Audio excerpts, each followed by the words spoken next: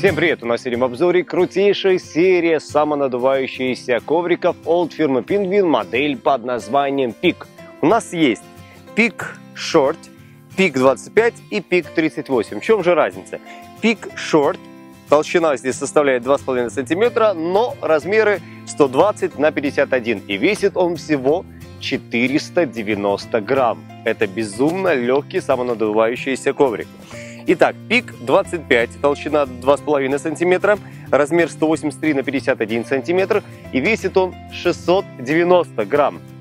Теперь пик 38, толщина составляет 3,8 см, размеры 183 на 51 и весит он 960 грамм. Идеальные самонадувающиеся коврики для альпинизма, для горного туризма и, конечно же, для велопокатушек. Ну и не стоит забывать про обычный отдых на природе. Имеется огромное количество цветов, но в данный момент мы располагаем оранжевым и синим. Давайте, наверное, разберем на примере пика 38 синего цвета. Это мы немножечко отставим в сторону. Оно нам не понадобится. И, собственно говоря, сейчас я вам покажу этот коврик. В комплекте идет сам чехол. Также здесь есть специальный кармашек, в котором хранится ремкомплект. Это мы откладываем в сторону. В некоторых э, ковриках имеются специальные стяжечки, которые утягиваются, но пингвин пошло дальше и придумали вот такие вот резиночки. Быстро, удобно, комфортно и практично. Раскрываем сам коврик.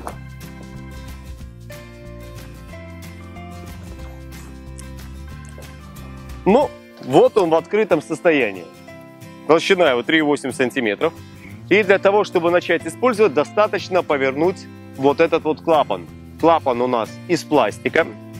И можем ждать, пока он наполнится воздухом. Материал. Внешне у нас это матовый полиэстер. Спальник скользить на нем не будет. Дно у нас из ламинированного полиэстера. Не будет скользить на наклонных поверхностях. Наполнитель у нас пена с вертикальными полостями.